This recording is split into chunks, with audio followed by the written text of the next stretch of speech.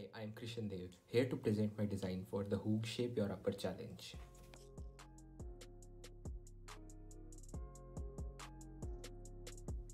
In order to design a sustainable product for the rapidly developing nation of India, I drew inspiration from the recent trends in tourism.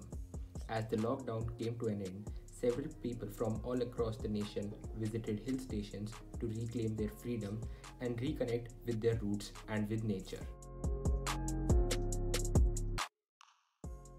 By the recent trend of hiking, I used the hiking core or Gorp core style of fashion that draws inspiration from mountaineering gear.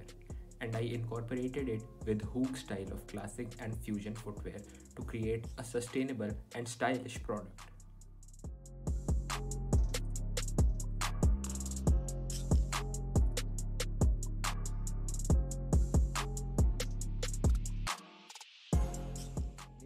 Sustainable product, I made sure that all materials used in the shoe are either recycled or biodegradable. Only premium materials have been used in the shoe to ensure that we provide a versatile and durable product to the consumer that provides them value for money and doesn't cause any harm to the environment.